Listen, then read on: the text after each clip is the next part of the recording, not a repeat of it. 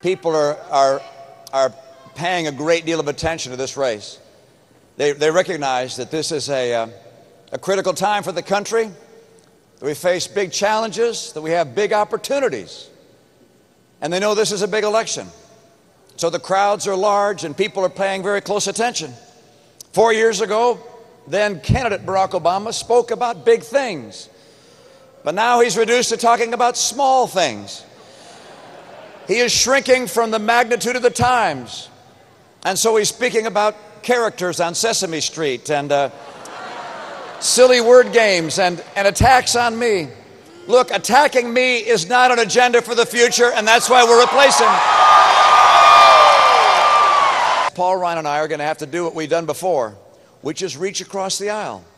We have to build bridges to people in the other party. We have to recognize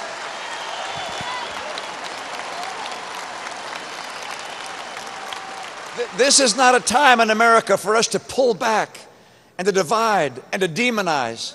It's a time in America for us to come together, to look for common ground in places where we have agreement. Paul Ryan has done that. His Medicare plan, by the way, was co authored by the senator from Oregon, a Democrat. They came together to make sure we could save Medicare. I, I, was elected in a state that has a few Democrats, as you may know.